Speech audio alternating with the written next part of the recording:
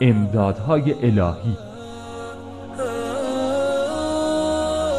یکی از وظایف رهبری امیدوار کردن افراد و توجه دادن آنها به امدادهای خداوند در راه رسیدن به اهداف است.